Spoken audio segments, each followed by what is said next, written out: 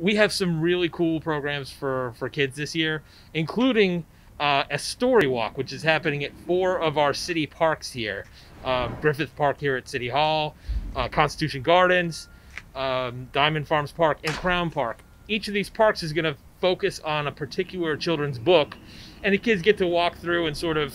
walk through the story of the book, which is pretty cool. And all the books that we're featuring are books uh, from authors who have either are either on the bill here uh, for this book festival or uh, have been at previous festivals. From property taxes and government changes to what happens with the Purple Line or how schools are talking about reopening, subscribing to our channel is the best way to stay informed of what goes on in Montgomery County.